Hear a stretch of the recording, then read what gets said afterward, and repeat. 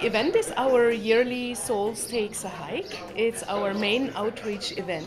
We go to a location where we have water and plants and insects and uh, all together, and then we organize these nature guide, this uh, faculty guided hikes.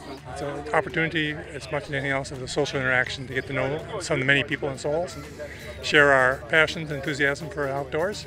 In addition, we have insects here, insect display, we have a reptile display, we have the microscope station set up where we show people microscopic life that they can't see with naked eye. The public gets to know that right in the middle in their backyard is all this wildlife and uh, how easy it is to see, especially the kids, and get them excited about uh, getting out from behind the TV and coming out into the wild, which is very, very close here at Gilbert Water Ranch. They taught us that uh, some birds can't fly and some birds that we haven't seen it, that people haven't seen in a long time that still exist. I don't want to touch that. Seeing the excitement, being able to talk to people and, and uh, share my, my, my interest in, in nature and, and uh, see them very, very excited also about what's going on around here. The idea is they learn about groups of animals and plants and microscopic life all together so they know that they're all essential parts of an ecosystem